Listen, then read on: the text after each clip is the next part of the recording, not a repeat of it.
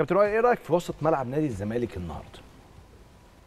لا مش مش هو نص ملعب نادي الزمالك. الموسم اللي فات مش هتكلم حتى على الموسم ده لأن حتى إحنا لما بدأنا في مع بطل تشاد وبدأنا الماتش الثاني تحس إن الناس برضو كانت قلقانة والناس اتكلمت كتير على آه، مستوى فرقة نادي الزمالك وإن هم قلقانين من الفرقة. آه، لكن لم فكنت بقول إيه يعني عارف أنت ماتشين سهلين؟ وكده كده مش عاملين حسابهم يعني هتكسب في أي وقت. فطبيعي إن أنت ممكن تظهر بالشكل ده.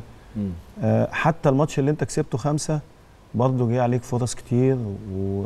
وكان الأداء مش هو أداء نادي الزمالك. فإحنا كنا مستنيين النهارده مع سموحة. نفس القصة. أداء نادي الزمالك حتى الآن مقلق. تفسر بإيه؟ آه بص يعني في حاجات كتيره ملحوظات كتير. يعني اولا التشكيل بالنسبة لي من وجهة نظري يعني أنا شايف إن التشكيل فيه فيه أخطاء. يعني مثلا أنا النهارده أنا لسه زكريا الوردي مش حاسه قوي كديفندر.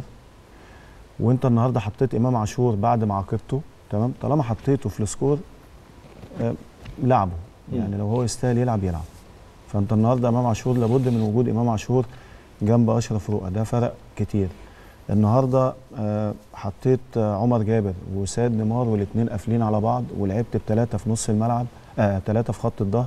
تمام؟ بما إن محمد عبد الغني بيميل شوية ناحية اليمين ساعات بيبقى back right. فدي برضو آه وحطيت زيزو اللي هو أصلا الأفضلية ليه ناحية اليمين حطيته ناحية الشمال. مم. فممكن واحد يقول لك إيه طب ما هو كان ناحية الشمال في ماتش أفريقيا. لا برضو إحنا بنتكلم الخصم غير الخصم. فرقة سموحة فرقة محترمة. تمام؟ كابتن طارق العشري دارس بشكل كويس قوي. زي ما قال حسن هو غير من أسلوبه يعني ضغط على نادي الزمالك من قدام لأن هو عارف إن نادي الزمالك كمان مشكلته النهارده إن التحضير حتى لما كان بيحضر كان بيحضر ببطء. صحيح. ما كانش بيطلع بسرعة. فده سهل على الكابتن طارق العشري ولاعيبة سموحة إن هي تضغط بشكل كويس قوي وتقفل مساحات وخطوط كمان سموحة مع الترحيل قافلين على نادي الزمالك مع إن أنت مش عارف تخرج بسرعة. فهو طبق الحتة دي بشكل كويس. فأنت النهارده لما تيجي تحط زيزو ناحية الشمال فانت خسرته. حطيت عمر وحطيت نيمار ناحية اليمين فقفلوا على بعض.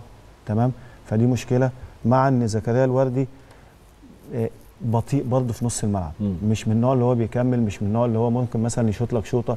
يعني ما فيش حتى غير واحدة بس في الشوط الأولاني اللي كمل فيها اللي هي بدماغه. ولو هو سابها لأحمد فتوح كمان كان جابها كان جول. مستريح. تمام؟ صح. فأنت الشوط الأولاني قابلك مشاكل كتير جدا. حتى لما الونش اتصاب يعني أنا قلت هينزل إمام عاشور.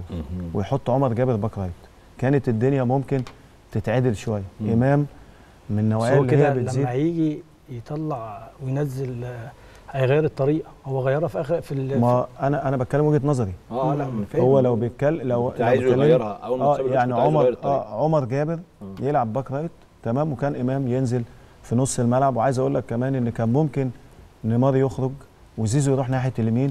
ويوسف اسامه نبيه ينزل من بدري.